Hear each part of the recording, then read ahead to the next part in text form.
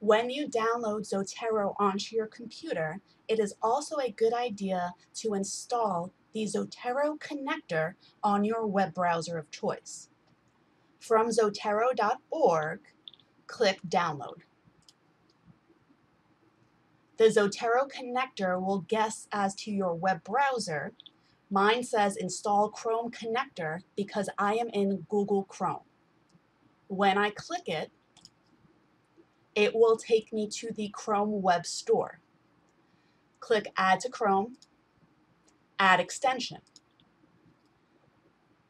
It should appear in the upper right corner on your toolbar. I have a message that says Zotero Connector has been added to Chrome. If you lose the icon, you just need to pin the extension to your toolbar. After installing, there is one more step before you can use the connector. Right-click on the icon. Click Options. Under Save to Zotero.org, click Authorize. This is authorizing the Zotero connector in your web browser to link with your Zotero.org account. Log in with your account information